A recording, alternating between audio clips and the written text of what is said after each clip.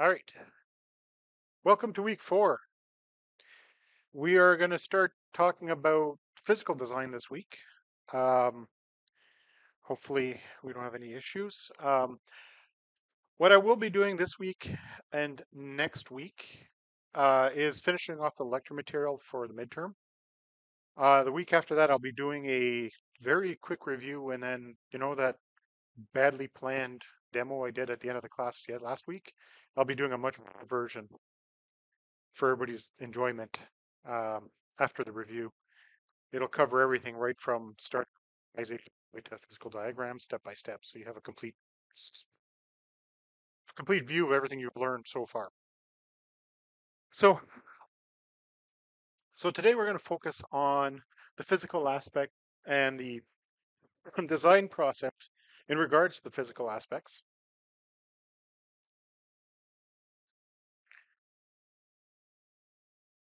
So the first one we're going to talk about is resolving relationships. Sorry, I'm a little rattled. I left home just in time to get here. One of my coworkers decided to corrupt our subversion repository. And guess who had to fix it? Anyways, uh, when we're resolving re uh, relationships, we there's a couple of things we need to do. So if it's a one-to-one, we don't need to do any kind of resolving because it's self-maintaining. A one-to-many, um, some people will consider one-to-many to be optional to resolve to a one-to-one in rare cases, and it's not something that is common. And usually you don't want to resolve a one to a one-to-one because you're probably going to lose something. And you have the many-to-many. Many-to-many is although it says up there almost always desirable, realistically, uh, I think there might be one or two database products out there that actually support true many to many. And they're not things you could use on a regular basis. Like they're very specialty purpose databases. So it the, the phrase should really read resolving is always required, not, you know, almost always desirable. So a many-to-many, which we've um, kind of discussed before, is when you have multiple things associated to multiple other things. And it would look something like that diagram here. So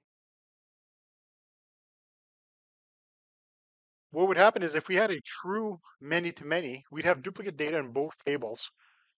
So let's say an order has four products you'd have to have the order in there four times mapping out to four different products. Even though it's the same order four times. It's really bad. Um, so you wouldn't be able to ask questions, how many orders have been made and how many products did we sell because things are getting duplicated as it goes. So what we end up having to do is create an associative entity. And actual fact, this is kind of cool because I just taught this yesterday in my other class, and they had they covered this in two different ways, and I'll actually cover both methods with you guys. So you create something called an associative entity. Essentially, it's a table that sits in the middle of the two, and it looks like this. Now, that associative entity can have one of two names. It is either known as an intersection or an association. An mm-hmm. intersection only ever has the primary keys from the other two tables. An association will have the primary keys of the other two tables plus some extra data. So in here with this design, yeah, okay, good. I just want to make sure I didn't forget something after this. So in this design, we know what subject a student took, the problem. It makes, you know, it's really clear, right? You got the student ID in here, you got the subject ID in here. We made the two foreign keys be part of the primary key. Therefore, it's a compound key. And that means that each student can only take a subject once. Now, can we tell when the student took the subject? What grade they got in that subject? We can't tell anything. So this is what's known as a pure intersection table. An association table, an associative table, would be the primary key being combined plus some other fields. So for example, one would be an enrollment date. Uh, you could have a grade. You could have um, maybe who taught the course. You could have a bunch of different fields in there. And the second you do that, it starts getting a little more complicated. Um, I'll actually write it on the board so you can see what I'm talking about.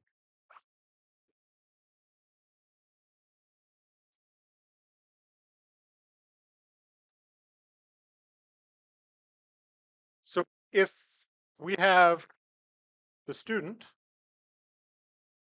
and we have the subject,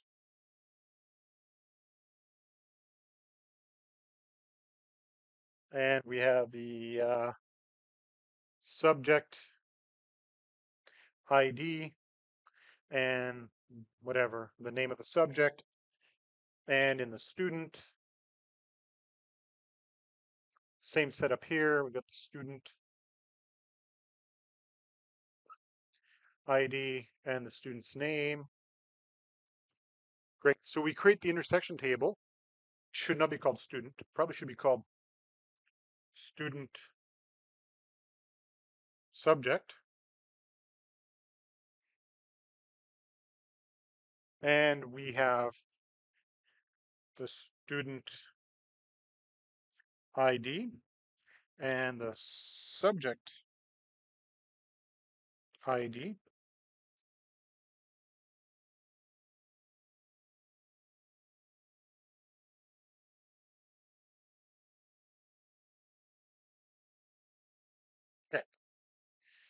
So this is essentially the same thing that was up there, except I also included the minimum cardinalities in my diagram because realistically you should. And now we need to know when the student took the course. So we could throw on on here, exa- uh, call it uh, enrolled, uh, grade, and you know could have some more stuff. Now, right now, we only have two keys, right? And then we have the enrolled. So what we have to do is actually include enrolled in the student subject so that we can keep track of when the student took that subject. So that means they can't enroll in the same subject twice at the same time. But if they didn't succeed the first time through and they have to do it again, they get to take it a second time. And that gives us the ability to do that by adding, you know, the extra field. Now, you may also realize one other thing. This primary key is getting really fat. There's three pieces to this primary key, and if we suddenly have to add something else, it's going to get complicated. So realistically, um, what you'd need is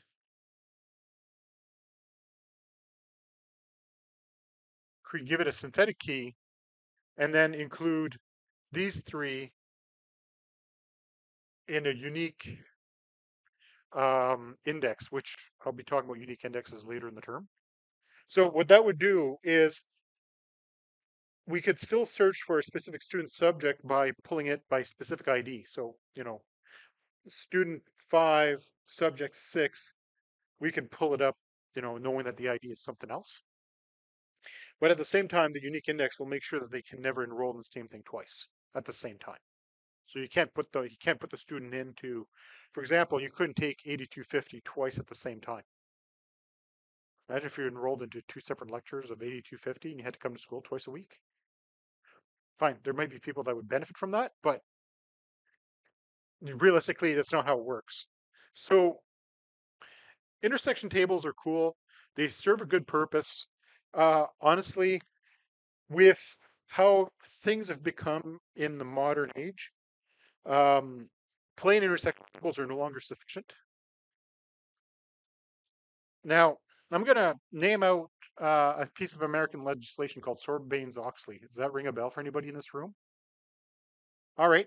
How about a company called Enron? Yeah, okay. One person heard of Enron. Uh, Nortel. Okay, I hope somebody else in here, other than two people, have heard of Nortel. Nortel used to be Ottawa's crowning glory, crowning jewel of technology, uh, until it was found out that the accountants were cooking the books. they owed five times, basically owed five times what they actually had in capital. Um, company was dissolved and broken up into smaller pieces. Enron was significantly larger sums of money and actually caused a minor economic depression in the US when it went under. So intersection tables like this don't enable you to do some very specific things. Specific things such as tracking who did what and when. So we end up having to add extra fields in this to know every single time somebody touches the data. And you suddenly need significantly more keys. You need to have some stuff that people can't touch. So from a pure concept, yes, this is how you resolve a many-to-many. In actual practical use, uh, people haven't done this since the late 80s, early 90s, eh, late 90s actually, because people hadn't learned their lessons yet about how corporations like playing with the numbers in their accounting books and having a second set of books to hide the fact that they're not actually making money. So nowadays, tables have a lot of extra auditing stuff on it, such as, you know, who touched it last, when was it last modified, that kind of stuff. And it's all fields that nobody can actually access through the interface. It's all, you can view the data, but you can't change the data. The only people that can change that data is the people that actually have access, physical access to the database, which in most big corporations is very few people get to go in and start typing SQL queries to change the database. So, long story short though, solving a many-to-many, you need a, uh, a table in the middle to bridge it because you cannot do many-to-many across in any modern database system.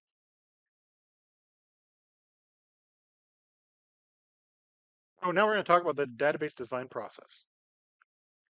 So the design process is iterative.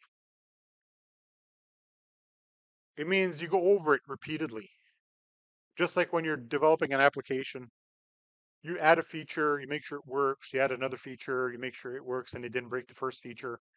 Then you'd release it. And then people complain, so you add more features on and on and on and on. You're constantly making changes. Um, there's also no perfect design. No matter what you're doing, what kind of database you're designing, there is no final perfect solution. Whenever you try to reach perfection, it usually causes more problems because theoretically, you could just keep designing and adding and adding and adding just because you're thinking, well, maybe we should control this. Oh, maybe we need to keep that piece of data. And uh, here's a quick example. I'm going to do a um, transit tracking tool. Sounds pretty straightforward, right? You've got a bus route, you've got bus stops, and you've got a bus. But often people try to are always looking up specific addresses. So we're going to add some commonly looked up addresses in our system. Now, those addresses, we also got to need keep track of what businesses are there because maybe they'll search by business. Oh, now we've got the businesses. Okay. Uh, now we need addresses. We need all kinds of extra stuff. Maybe we should have some phone numbers. You know, if you just keep thinking of how much you can keep adding to the database, eventually you'll try to design the entire world in your database because you can just keep going. When you just think about the data that can be included in any given design, you can just keep going and going and going. And it's, you just stop. At, at, a certain point in time, you need someone to actually look at your stuff and go, what are you doing? Like literally, yeah, so somebody break out a sandal, throw it across the room. Um, so don't go for perfection. The goal is, can anybody know what the phrase is that you should be aiming for? Yeah, good enough. Okay. Yeah, And so you go for the minimum that you need while not locking yourself into a design permanently, because there's ways of designing a database without, you know, pigeonholing yourself to the point where it's good enough. Do we have everything a person could reasonably need from this without trying to make that 1% of users happy? You, honestly, if you get to the point where you can make 80% of your users happy, good enough. Don't ever go for the 1%. It's pointless. Heck, don't even go for like 90%. And that's also usually pointless. Um, like, you know, in Excel, 90% of features are used by less than 5% of Excel users. Word is the same way. I mean, how many of you in here know that you can create a footer whose the text in the footer changes depending on the first heading on the page?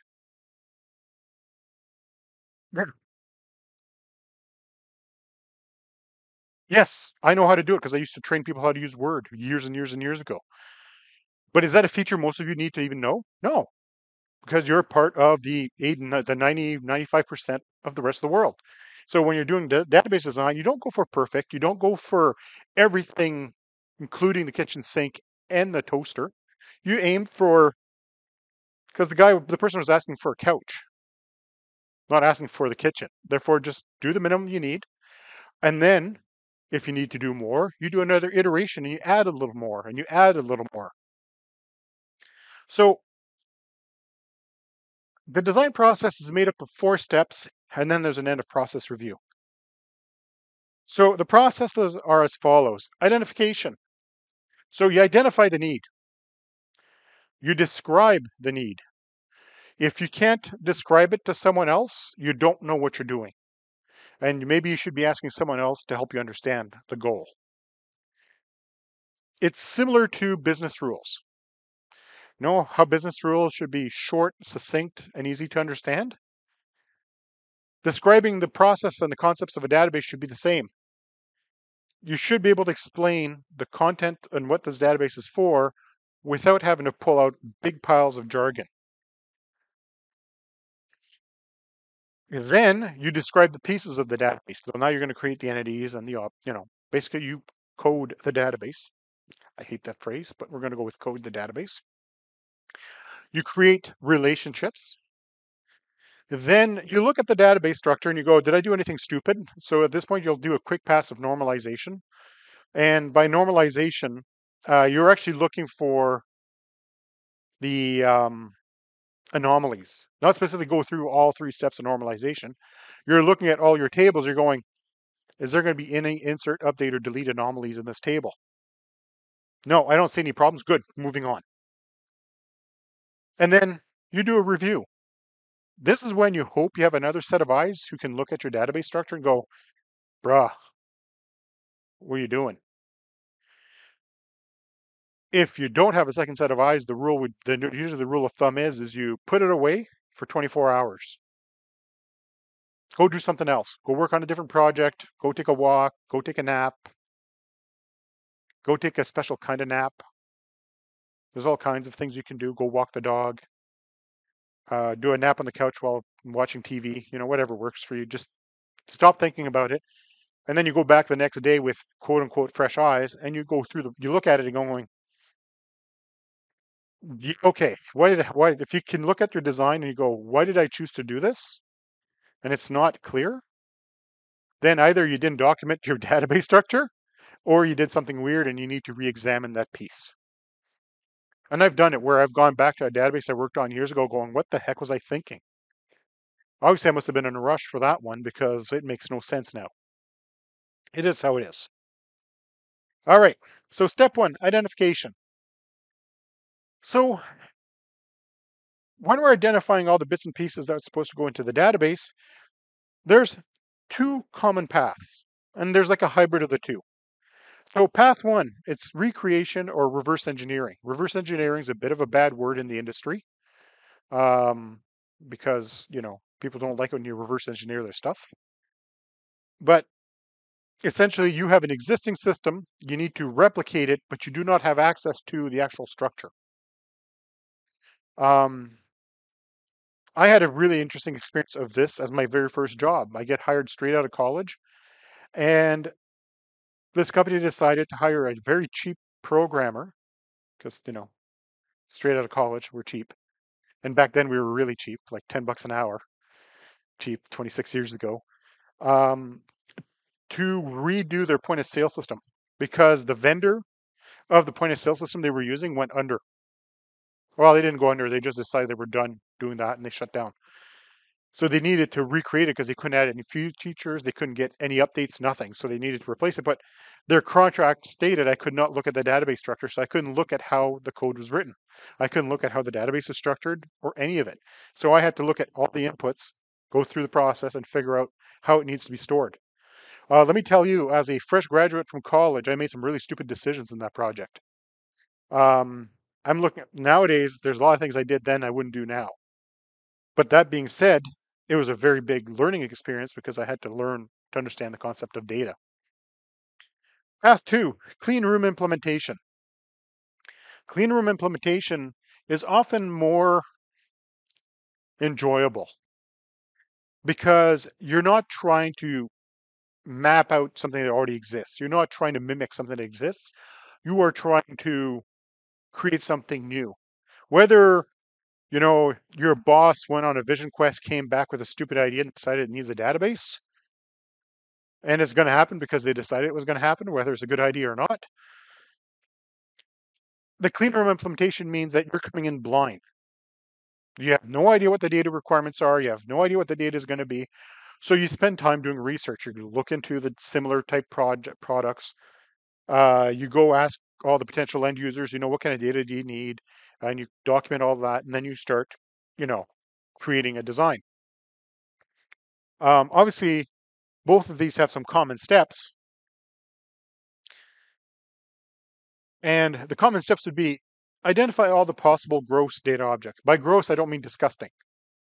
By gross, in this case, it means the the bigger pieces. Right? When you go by a gross of I don't know, bottled water. We have an episode with a skid of bottled water. So you identify the big pieces. Users, customers, orders are examples. You list the objects and you categorize them. So you go through all the objects, you create some categories, and you figure out, you know, what things are. Then you're going to describe, and specifically here I'm talking about describing the actual components of the database. So for each of the objects, you're going to add all the basic fields, as you guys also know them as attributes. Um, you'll potentially add identifiers or primary keys, descriptor fields, blah, blah, blah. Um, if you work in certain industries, you're going to add some extra fields on there like created date, modified date, deleted date, um, you know, who cr created by, modified by, potentially deleted by. Um, hey, time differences. There could be a bunch of things you add in there just to keep track of all the require the legalese, right? So then you try to identify as much as possible. Again, if I look at students and I try to identify as many pieces of data I need about a student. So I know I need a first name, a last name, potentially a middle name. I need a home address. I need a mailing address. I need a current living address. I need a phone number, potentially a second phone number, or even a third phone number, right? A home phone number, their cell phone number, and their current living address phone number. Uh, email address, potentially two email addresses. Um, where were they? Re- where? How did they get it put into the system? Were they referred by via some other party? Um, what program are they interested in or enrolled in? You know, I'm just listing things off the top of my head. So as you are trying to identify as much as you can right off the bat, because you might identify more than you really need, and then it's easy to start discarding.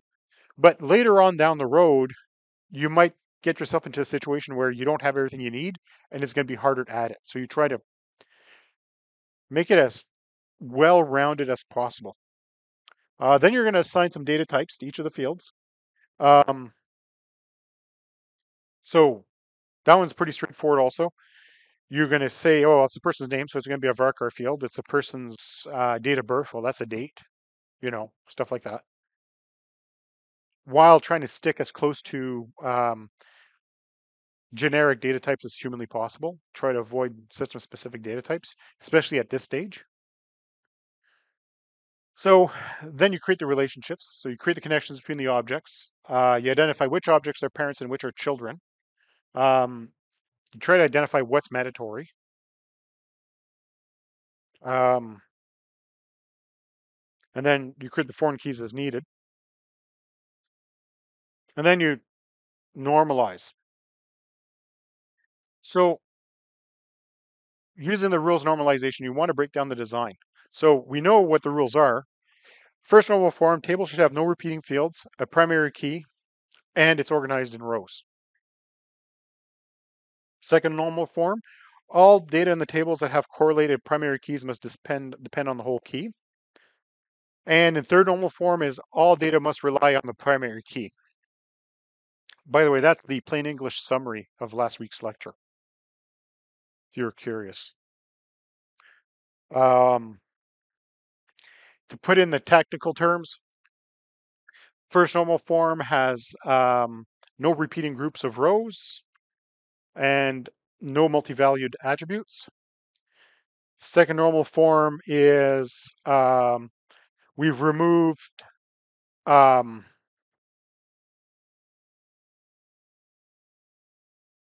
partial dependencies. There's that's the word. And the third normal form, we got rid of transitive dependencies. Um, you're going to create reference tables as needed. Um, you guys probably don't know what a reference table is. A reference table is a table in the database used to hold values. Duh. But it's for a list of values, an order status, shipping method, state, province, country, um, title of address, oh, Mr. or Mrs. Miss, uh, potentially, you know, suffix on the name for people who have letters after their name. that, that doesn't always include, you know, PhD, master's, whatever. It could also be junior, senior. There's a few different things that could go into that name suffix. Um, so reference tables are used. So, and basically, you can picture it this way: whenever you use uh, an, an application, a database application, or a web form of some sort, as a dropdown, odds are that dropdown's coming from a reference table. What's cool about that is if you need to rename one of these values, you don't have to change the application code. You update that one row in the database, and suddenly that value shows up for everyone right away. Um,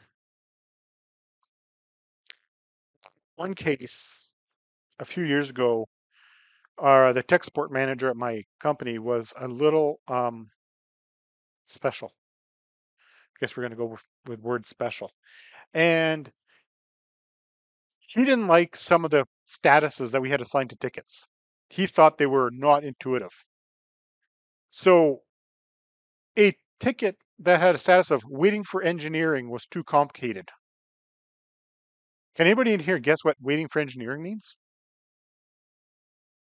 Come on, it's not that hard. You're waiting for a programmer to tell you if it's broken or not. You're waiting for, you know, somebody in the engineering department to deal with the problem. It was too complicated for him. It had to be called waiting.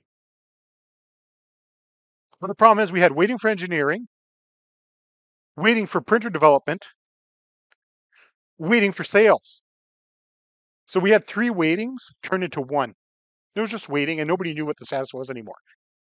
The nifty thing was is that about after about two weeks, everybody complained how stupid this was. I was able to go back in the database and just change the values. And the dropdown suddenly started working the way they used to because we never deleted data. We just renamed some values and marked them as active or inactive. So those are reference tables. Um, sometimes you'll have fields in a standard table and you're going to replace those with the reference tables. Um, a good example of that again is state or country. Years ago, and most of you are probably too young to remember this, uh, but those of us of a certain vintage remember the internet when it first started. And you'd go and fill in a registration form, and they didn't have drop downs for country. They didn't have a drop down for state. They gave you a, pl- a plain text field Ontario, Canada. And the company I work for was the same. I've been there for 20, almost 23 years. So our original forms were like that. So users could just type in whatever the heck they wanted into those fields. Um, do you know how much fun it is trying to run a report to figure out how many people are in the US? How many different ways could you put in United States? United States, United States of America, USA, US, U.S.A. U.S.A. Right? And insert varying misspelled versions of this because people couldn't type. So instead of just picking from a report saying, oh, I want the ones in the US, I had to write a report and actually identify about 26 different combinations of United States. It was disgusting. So you don't want these fields where people can type stuff in, you want them to pick it. So the goal is in the you want to be normalized to third normal form once you've identified that. And the reference table one is another one where you don't want to go too far either because it becomes unusable. For example, you're not going to put city in a dropdown because that's just dumb. You'd have to put in every stupid little bump on the road as a place.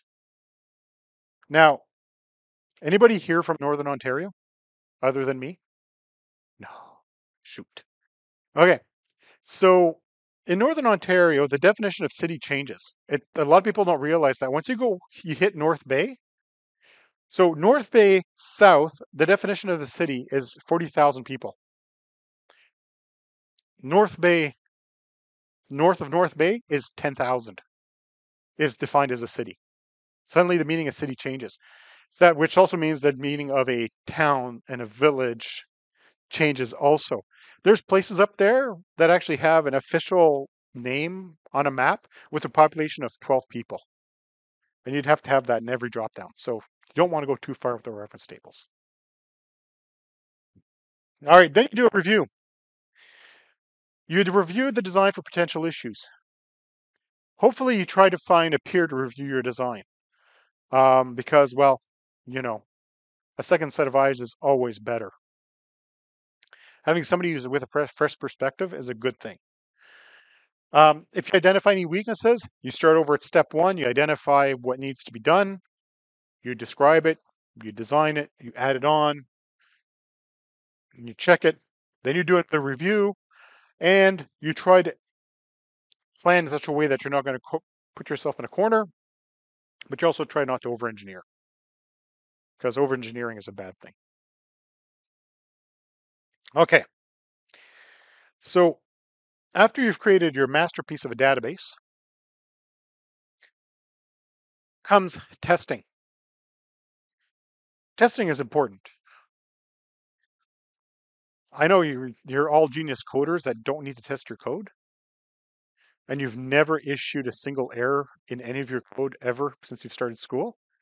For the rest of us, we cause errors all the time. And testing is required. So test data gives us a few things. It gives the developers something to work with. In other words, you're going to generate a database and the people programming the interface will have data to play with already. Working against an empty database is very difficult because you really don't know what it's going to look like. Uh, it also lets you do some load testing. So you create some database structures and you start inserting hundreds of thousands of rows, millions of rows. So then you can test how slow things get. And a badly designed database or a database that is not optimized, that's not the same thing, um, can get slow when you have a lot of data or you have very complex queries. And that will give you things that you may need to go and address. Um, now, there's many sites that offer this service. In actual fact, I'm pretty sure actually one of these no longer exists. I think that bottom one is gone from when the slide was created. However, uh, generatedata.com is absolutely fantastic for generating realistic looking data. Uh, it's under constant development. The, the guy who writes it, by the way, notice I said the guy, it's a one man shop who's writing this tool, uh, is constantly adding features. It's gone to the point now where uh, you can use nationalized names. So let's say you decide to have people in, in Scotland, you, want, you include Scotland as one of your target pieces of data. You can get it to pick towns that belong to Scotland. You can also have Scottish sounding names in your database. It's really nifty. Uh, it'll generate phone numbers based on a mask, so it looks like North American phone numbers. Um, you need postal codes. It'll you can get it to match the postal code to the country you're mapping. I, it's gone to the point now where if I'm right, uh, last time I used it, it generated postal codes correct to the province. Randomly generates it. It looks real. Um, Mockaroo is cool. It has different data from generate data, uh, different options. I mean, like it, you know, different products offer different things. Free data generator was really nifty, and I think that's the one that's gone. Uh, it actually supported parent-child structures, so you could define three or four table structures at once and say this field in this table comes from the primary key of this table. So as it would generate rows for the first table, it would then randomly generate rows for the second table, so that things lined up. And I'm actually going to show you guys generate data really quick, just so that you know what I'm talking about.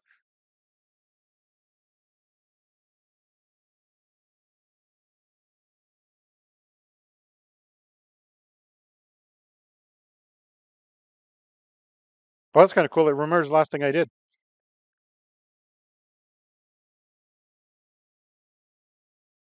Okay, I'm going to close that.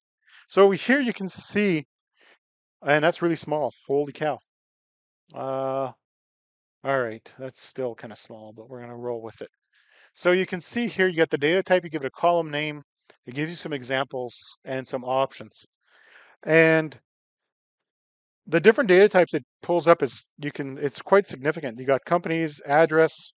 Uh, you can even get it to do long, uh, longitude, latitudes, so you can actually do fake GeoIP stuff.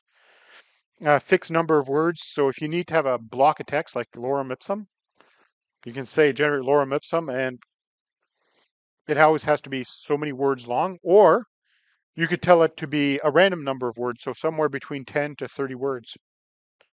Uh, you can do alphanumeric, uh, booleans, auto incrementing, uh, number range. Number range is a nifty one because you can use it for foreign keys. So let's say you know there's 100 rows in your parent table. You can do number range to be between 1 and 100. So every time you generate a row, it'll randomly tie it to a parent record.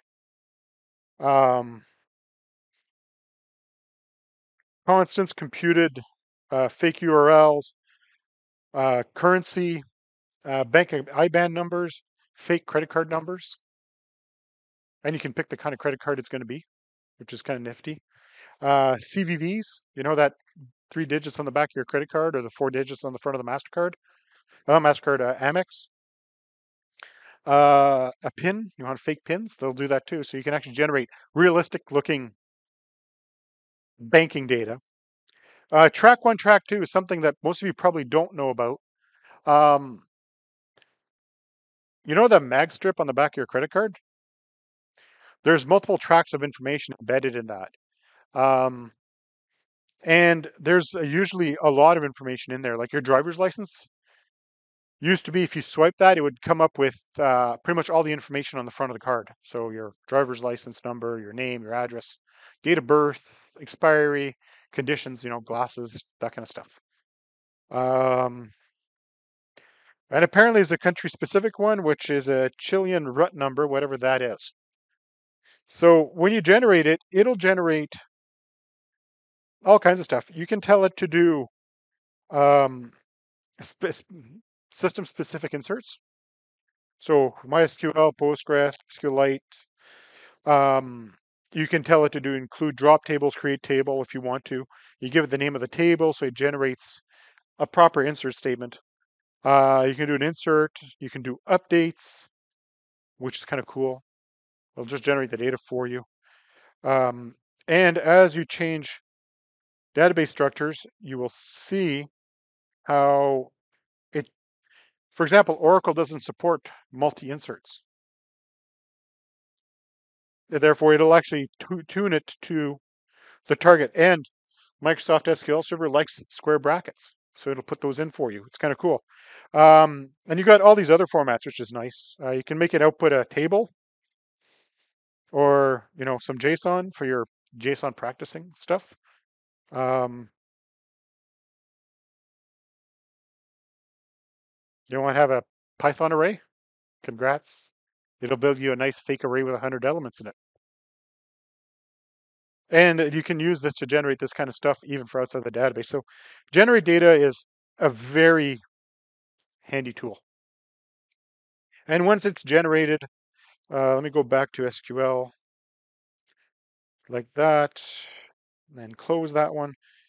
You can, when you generate it, and you can download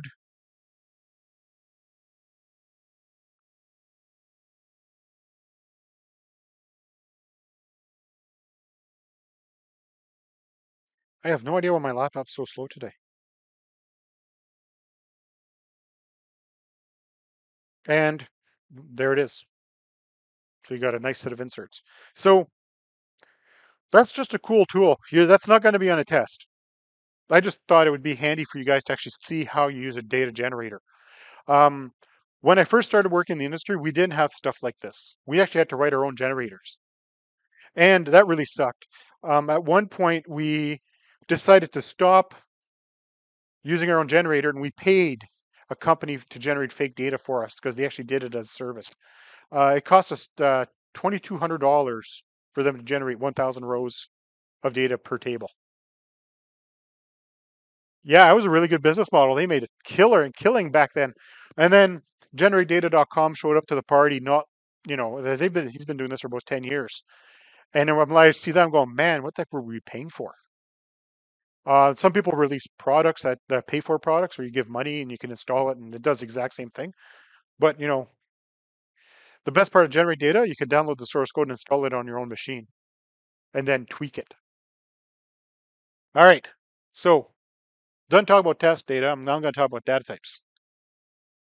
So by now you guys should have an okay idea of the different data types in a database um, from last term because you've run queries, so you've experienced, you know, text and that kind of stuff.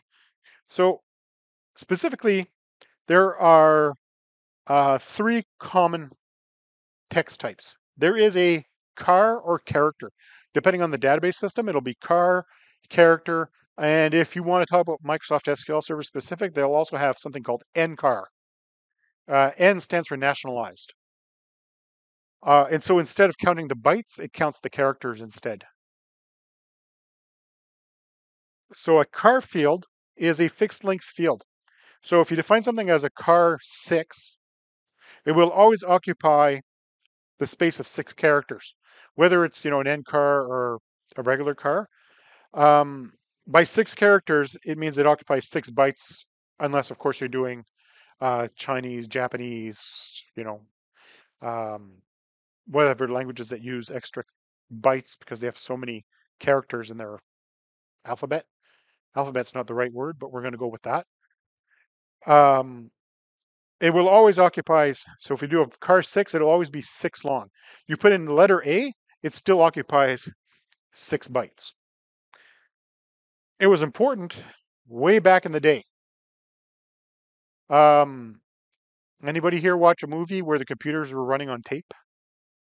You know, you got the big, yeah, the big wheels going back and forth, moving a piece of tape back and forth through a, a magnetic reader. What was important about that is because it was always six bytes long, it knew exactly how many millimeters to move the tape for every field.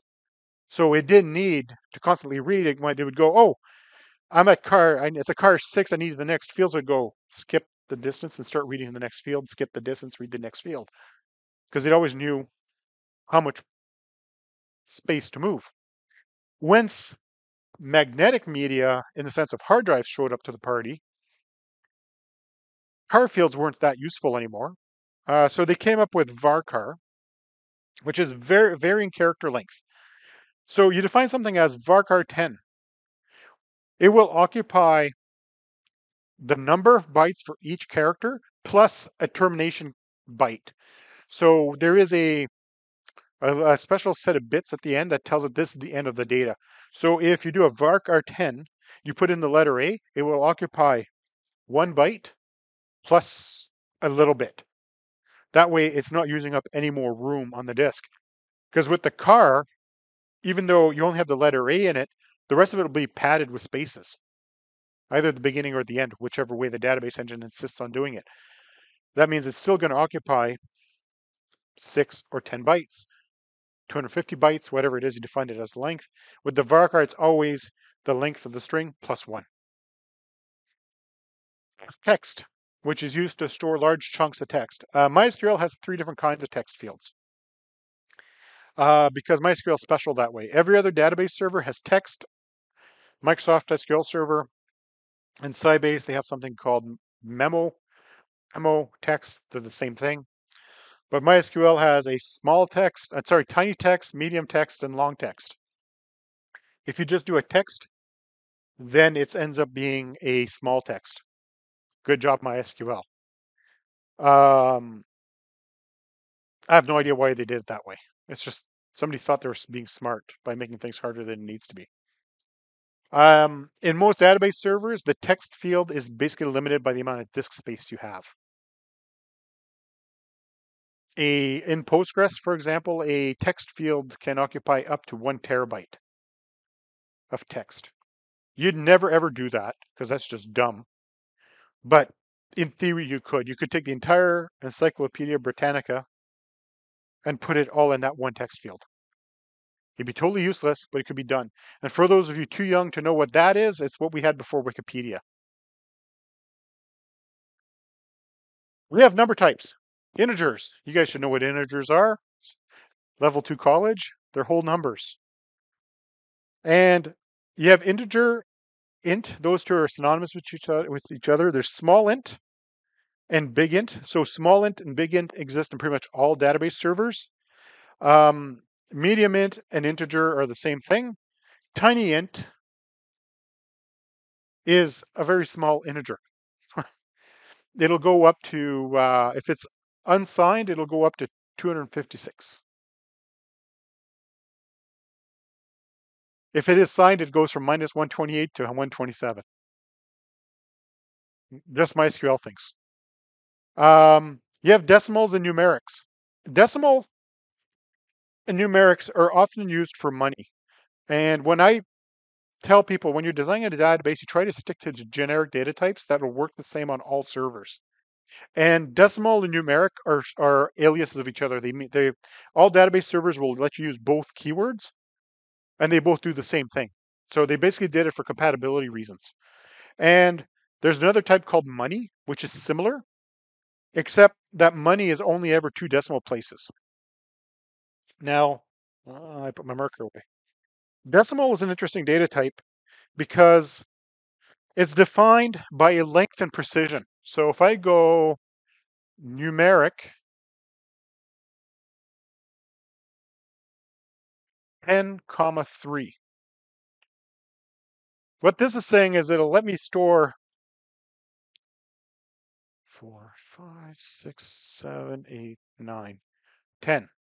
10 digits with three of the 10 reserved for decimal places. So this is the 10. This is the 3. So the reason why this, or decimal, whichever one, uh, is superior to using the money data type is a lot of financial services worry about more than two decimal places. Although we only look at money and go, it's uh, 1097. Great. Or we buy gas, and right now gas is, uh, was it a buck 49? Once was a time where we the prices were, you know, 49.9 cents, which would have been, you know, this place moving. So one of the things we worry about precision here is like exchange rates. When you do money exchange rates, the more precision you have in your decimal places, the more accurate your exchange rate's going to be for that day, the less likely you're going to have some weird rounding issues later. Um, since decimal only ever does, I mean, decimal money only does two places of precision, you're going to lose precision. Um, and by the way, the numeric, decimal, and money data types all do rounding for you. You don't need to do the rounding. So if you want to insert something with five or six decimal places, it'll round it up for you automatically. And I guarantee the computer is a lot better at rounding than you are. If, from what I've seen students that tried to do some manual rounding in class in the past, people don't know how to round anymore. I don't know if they just don't teach in high school, but people have forgotten how to round. Um, you got float and double. So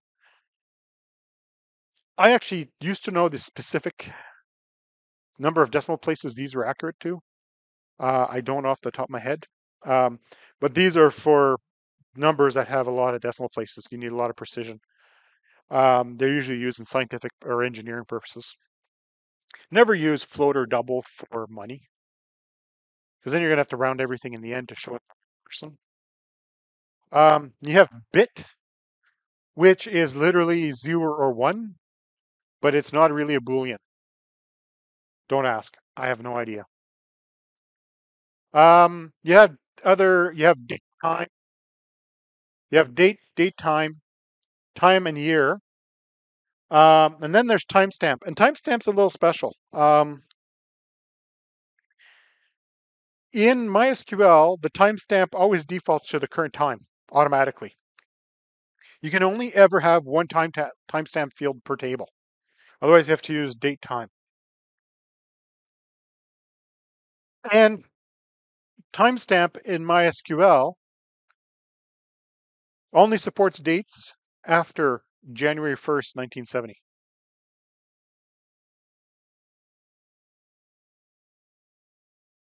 It's epoch. It's epoch. It's this the start of Unix timestamps. Essentially, it the way timestamps are stored in MySQL is it counts the number of seconds since January 1st, 1970. It just uses integers for time. They're gross. It's hard to work with. Yes.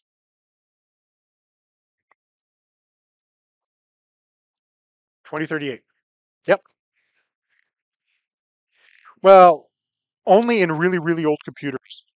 Uh, any version of uh, Linux, Unix, um, and other derivatives of that nature since the 64-bit processor era came out will not have that problem. The old COBOL computers, on the other hand, that you know the banks are trying to hurry up and replace, may have some issues. Is it going to be the end of the world? Uh, no more than the year 2000 was. As a person that was sitting in the office at two minutes before midnight, New Year's Eve, because of Y2K, and Y2K came and went with just a, and I got to go home at five after 12 because nothing in the building melted. But, you know, yes, that literally 2038 was it. There's a hard limit on the Unix timestamp with the old format of it. Uh, the new one is 64-bit data type, so we're good to like like the year 64,000 or something. So we're not too worried about it. Um, there's time and year. Um, those are what's known as the generic data types. And there is one other one in here that's not mentioned, which is Boolean. Every database server that I've ever worked with, except for MySQL, supports Booleans. You guys know what a Boolean is, right? True, false. Database servers are special about Booleans. Why? because it can be true, false, or I don't know. Booleans in databases are trinary, not binary, because it can be null. Therefore, if it's null, it means I don't know. MySQL doesn't have Booleans. What does it do? It uses a tiny int 1, a single digit integer, which means it supports no and nine flavors of yes. Zero, one to 9, and null. So is that an advantage? I really don't know. Um, I'm not a fan of the whole concept of multiple shades of yes. Anybody with a significant others other knows multiple shades of yes, and it's never fun being on the receiving end of it. And I kept that one gender neutral, you might have noticed. Yeah, true enough. But, you know, it's it allows you literally have one to nine versions of yes, which is not great. And like I said, the bit type does not work. So when you're choosing your data types, you have to take things into consideration. How big is the data? What is the longest I think the data is ever going to be? Is it numeric? Does it have decimal places? Is it a date? If it's a date, you'll notice in here I have a, an actual statement. If it's a date, should you include the time? The answer is yes, always. Except for things that never will ever, ever, ever need a time, always include the time. So use a date time or, or whatever applicable. So an example of a field that never needs the date, the time, other than in a hospital, date of birth. How many of you know the very moment you were born, the time you were born? Congratulations, there were a couple of people in here. I have no idea. I know it's some apparently sometime around 4 a.m. in my case. But in real world application outside of a hospital, date of birth does not need a time. Who cares? Like, I know you know. I'm not making fun of you. I just, who cares? The only person that cares is your mother. right? But for everything else, you should always include the time. Why? Let's go with orders. So we have an order. And whenever you look at your order, so, you know, you buy something from Canadian Tire, and actually Canadian Tire has gotten really good because they actually include the time now as part of the order date. Like they show it on the receipt. But a lot of times when you place an order and you get an invoice, you'll just have a date, you know, order date, invoice date. And picture this. So you design this database, the orders only have dates, there's no time. And after operating for a year or two, a manager says, I want to run some run some metrics. What time of day do we have the most sales? Or what time of day are there the most manual sale entries where you know somebody takes a sale over the phone? And you don't have times in your database. You're like, I don't know. We don't have that data. Whereas if you'd just taken the time to add a time, like do the date time, you could have been storing this for years and come out looking like a hero because you already have the data. Now the best you could do is modify the database, modify the application, so it starts keeping track of that, but you'll still have a whole block of time where you don't have that information. So if it's a date, always include the time unless it's a very specific use case, such as a date of birth. Honestly, outside of date of birth, I can't even think of another spot where you need the not to have the time. Maybe graduate uh, date of enrollment, but even then, the system's going to want to know when they received the data from whatever system when you enrolled into a school. Just include it, even if you, you can you can truncate the date and not show it. Yeah, date of birth is that the birth, date of birth birthdays is the only thing that you ever have to worry about not needing the time. It's one of the few. I'm sure there's others, but you know, in practicality, I've never seen a single instance where we needed anything but the whole thing. You can always format the date and trunk off the time so you're not showing it, but collect it. It takes up, you know, maybe an extra two bytes for every row of data. It's nothing. Uh, if you're going to store large blocks of text, how big is the text? So will a varchar 255 do the job, or should just use a text field? Um, text fields are hard to index. They take up a lot of room. Varchars are easy to index because they're fixed length, or maximum length, I should say. The last one says, just say no to blobs. Now, blobs Blob stands for binary large object. And it's a special data type. Most database servers have it. Uh, Oracle calls it something else. I don't remember what it is. I think it's called bytea in Oracle. Um, and also known as a byte array. So a blob allows you to store raw binary data in the database table. All right, so how big are the pictures that come off your cell phone? I have an S22. My pictures are what, 3.7 megs on average. Unless I'm shooting raw, then it's, you know, 20 megabytes a picture. And we're going to, somebody says, I'm going to create a database and I'm going to put all my pictures in the database. I can query, get the data out using a query. Cool. So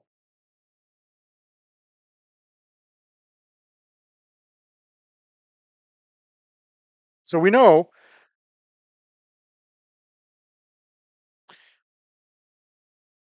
that's not right. Okay, so that's how many bytes in a megabyte, right? That's a lot of bytes. So we're going to go with the size of my phone's pictures. So each picture I take occupies that many megabytes. Cool. Now I'm going to, how many pictures on average are on your phone? Yours is like, mine's probably sitting at like a thousand. Yeah, okay, so let's go with uh, 4,500 pictures because, you know, so now this is how many bytes we're storing. So now we're going to bring this back down to a size our brains are able to understand. So 16 gigs. That's just not that big. That's still pretty chunky. 16 gigs. Now we're going to back that up. We're going to run a backup, and you guys are going to learn about backups after the break. So we have a 16 gig backup. While that file is, while that one table, because this is going to be in one table, is being backed up, the table is locked. That means it can't be written to, it can't be updated, it can't be, nothing can be deleted, and it's locked for the entire time of the backup. 16 gigs being backed up usually takes, say most database servers don't have insanely fast hard drives because they don't need super fast hard drives. They're on an array it's still going to take a while. So say five minutes. So you got five minutes of downtime while you back up that 16 gigs. And that's in one table, not even including the rest of the database. Um, then you take that and you it keeps getting fatter and fatter every day. So you add another 100 pictures every day. So at the end of the year, you could be looking at, you know, potentially 200 gigs being backed up every day. Where are you going to put that 200 gigs? every day. It's pointless. Um, database server crashes, you know, because you're running it on your Raspberry Pi because you're clever, and there's a power outage. Your Raspberry Pi turns off because it's not on a UPS. You launch it, MySQL launches the database, and the database is now corrupt because it was in the middle of backing up or writing to that table and it failed and died. So now you're you've lost 16 gigs of data because you got to try to recover from backup, which you may or may not have. So how do you handle blobs outside of, you know, the situation? What you would normally do is you'd have a, a varchar field with a file name. You put the file on the disk in a directory structure and you store the file name. Maybe you'll store the path, the whole path, plus the file name, because 255 characters is pretty much a limit for most file systems. Therefore, the database is nice and tiny. Files are on disk. You can run a differential backup of the disk. So that means only new files get backed up every day. So your backups are small, the backups are fast. Cool. So just say no to blobs. Uh, blobs have one purpose, and it's to store data when you can't store it in the database any other way a sim, an example of this is you need to store the raw bytes of a piece of text. So let's say you have a form on your website that only accepts Latin 1 character set. So pretty much anything from the Western alphabet, whether it's the Italian or, or Portuguese, French, whatever, German, it only handle those characters. And somebody comes in and they think they're smart and they fill in the form using moon runes whether it's Chinese, Japanese, whatever, those characters will not go into a normal text field. So you'd store that into a blob because you're going to store the raw bytes of whatever they typed in. Uh, another purpose um, at my day job is we write printer drivers and we need to put in the control strings in the database because we generate the drivers from entries in the database. And control strings are escape characters. You can't store escape characters into a text field because it'll actually try to escape them. And if you wonder what an escape character is, um, Control Z, for example, the sa- the bell. Did you know there's an actual keystroke combination you can do to make your computer go ding? But some printers actually use those special characters to tell it that something's coming down the pipe that it needs to pay attention to. we need to store that in the database, so we use a blob.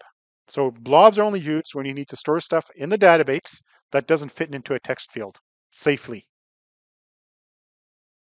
All right, now we're going to talk about keys. Synthetic versus natural. And we're almost done for today. Today's a pretty reasonable lecture. All right, so we know what a composite key is. It's a key composed of two or more attributes. Um, a natural key, it's a key that's made up of attributes that already exist in the real world. Examples of this would be a social security number in the US, a SIN number in Canada, um, an NIN number in the UK, driver's license numbers. You know, any of those things could, could be considered natural keys because they're unique. Synthetic key is also known as a surrogate key, it's a key that has no business meaning. In other words, it's an automatically generated number one, two, three, four, five. It has no real world meaning. And it's all have a synthetic key associated to you right now. Your student number. Um, although it starts with 040, everything after that is a sequence. Um, I don't remember what the 040 stands for. There's actually a meaning behind it. I actually had a prof that would, that's been here since like the 80s tell me what that stood for. And I don't remember what the 040 was for, but it has a meaning. Okay, so it was literally 04 and then the rest. So that's a lot of students. Um, primary key, well, you guys know what a primary key is. It's the unique identifier in a table. A foreign key is uh, one or more attributes in a table, like a column in a table that references the primary key elsewhere. All right. So it's a wall of text talking about issues with natural keys. So issue number one, the primary key size. Surrogate keys don't have a problem with index sizes because they're a single column of an integer. Computers are really, really good at storing numbers. I mean, did you know you can count to 32 on one hand? You, need five bits to count to 32, right? One, two, three, four, five, six, seven. What's seven on three, three bits? So integers don't take up a lot of room. On the other hand, a SIN number is not an integer, it's a string. Even though it looks like a number, it smells like a number, it's a string. It will always occupy nine characters, which is nine bytes.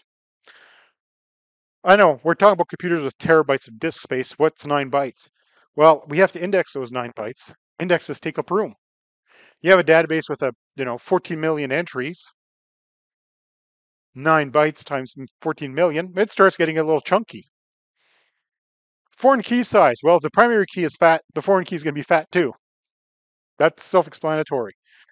Aesthetics. Now, that one's an eye of the beholder thing because old-time database developers really loved synthetic key, I mean natural keys, because it was understandable from a human perspective.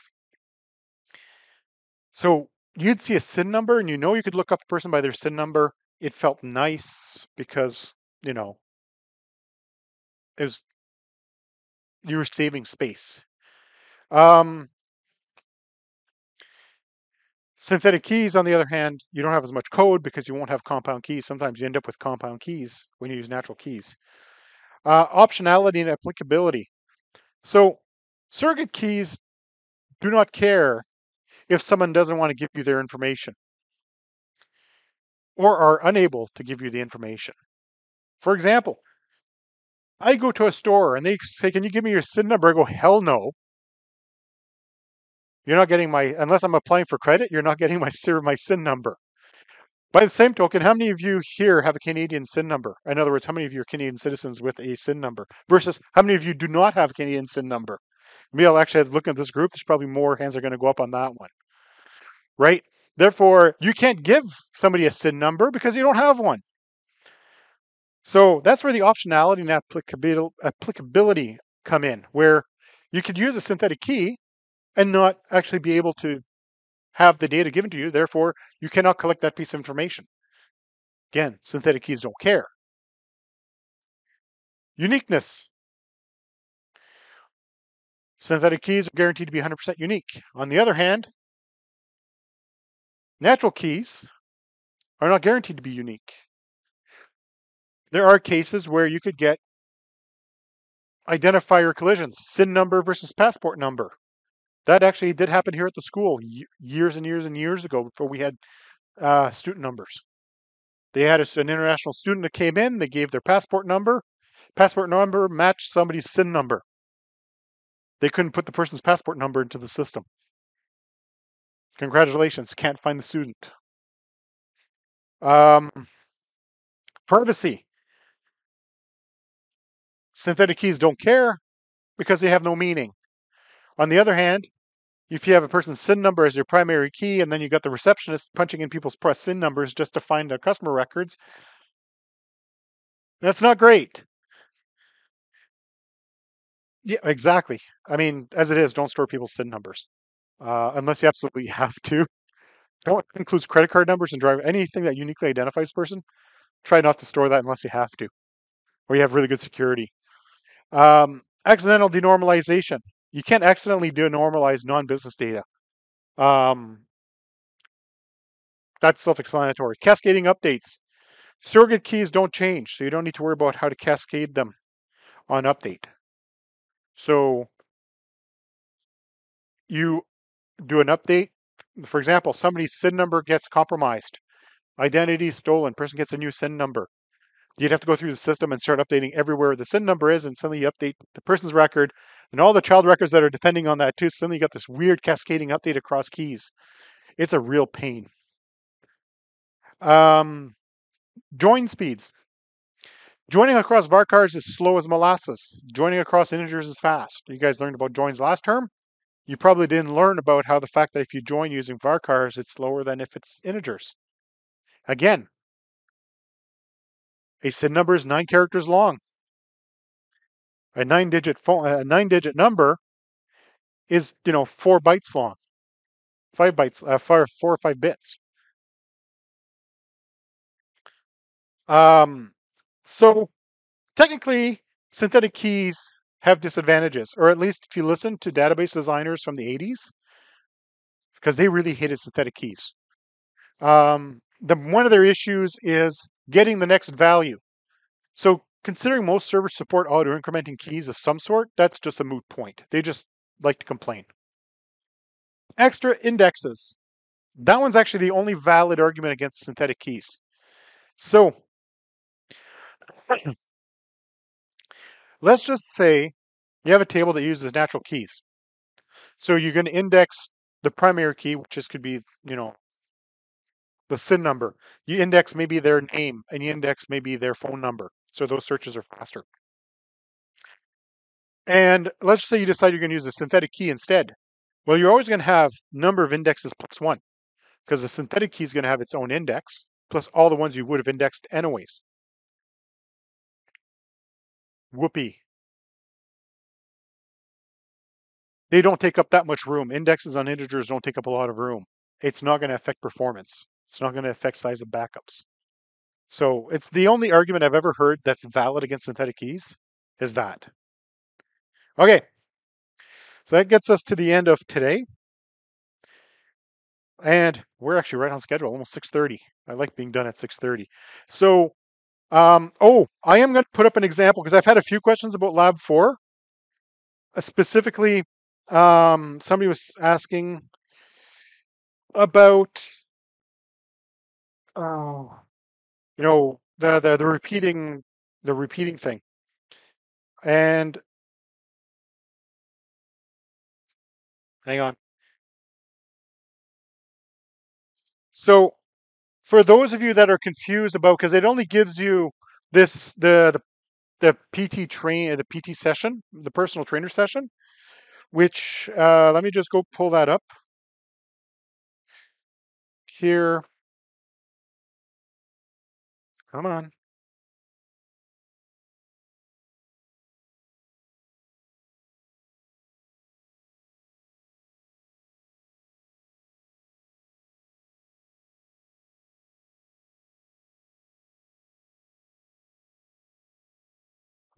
too far. This right here. So you see where it says PT session, you got the trainer, phone, blah, blah, blah. And the person was asking, um, identify possible multi-valued dependencies. And they're like, okay, well, I don't have any data to actually know what it is you're, talking about. So I'll post this as part of the uh, announcements. But if you picture, this is what that means, where you have a specific trainer and then you have a bunch of clients tied to that trainer. That is the multi-value dependency. And by the way, how would you resolve that?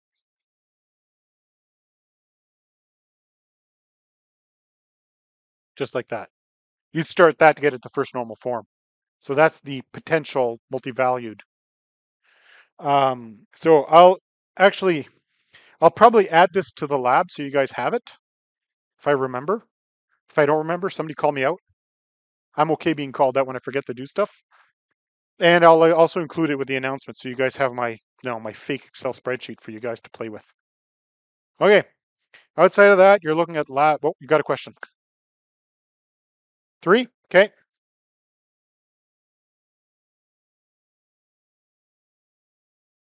You can have.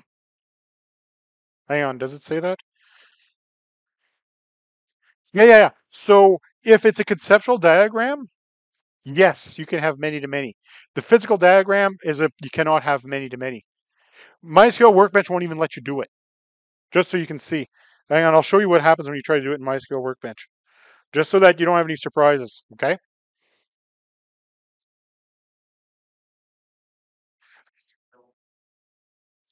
That's for um,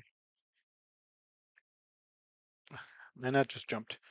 So this one here is more about conceptual diagramming. So if I create, I'm going to create a uh, an empty diagram, just do the many to many. So yeah, I've, for this lab, I'm happy getting a conceptual diagram. I'm more worried about you showing the concepts, so it's an ERD, not a physical diagram. Yeah.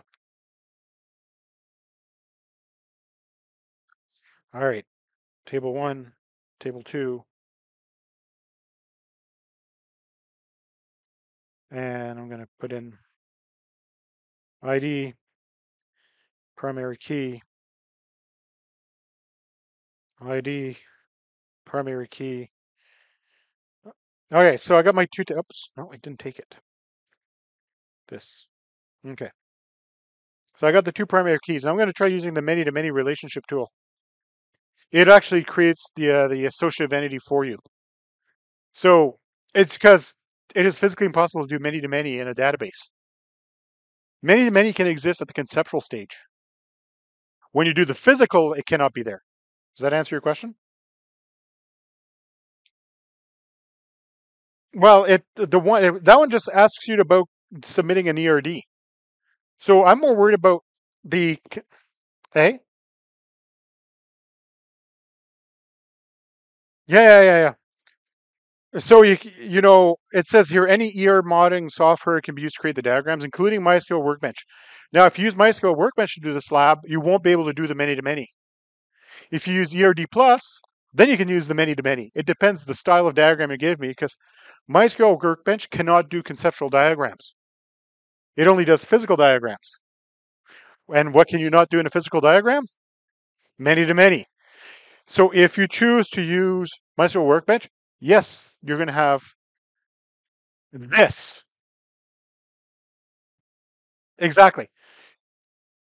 Yeah, so you can do it this way if you want. I won't take points away if you resolve your many-to-many dependencies. I'm not going to take points away if you don't resolve them if you're using like ERD+. I'm more worried about whether or not you understand the concept of diagramming. Like, can you put in the entities and their attributes and connect connect them using relationships? Yes. Congrats. You're going to get your points. It's this this particular topic is more about the concept of diagramming than me being nitpicky about the fact that you misspelt the word minimum. Because you know, there's some profs that'll take points away for the dumbest things. Oh, you didn't include 26 comments in your five lines of Python. Minus two. that, that's you know I don't know if it's been like that for you guys, but I've had students complain to me about their Java profs in the computer programmer and the engineering technology course where they literally have to have a comment above every single line of code, otherwise they lose points. And I'm like, you know what? When you look at my code, there are no comments. Why? Because I write code that's understandable if you've been programming for more than like two weeks. The only time you need comments in your code in the real world is if you're doing something weird or you are processing things that switch based on incoming data and people might not know what those conditions are. So, you know, in the if statement, you're going to go, okay, we didn't get a successful credit card transaction. Else, they were successful. Other than that, you don't put in lots of comments. So I'm not going to ding anybody on that.